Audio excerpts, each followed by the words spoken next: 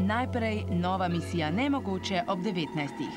Bo John Travolta Gina Hackmana ali morda René Rousseau Denja Devita ali kdo bo koga, simpatična akcijska komedija nocoj ob 20.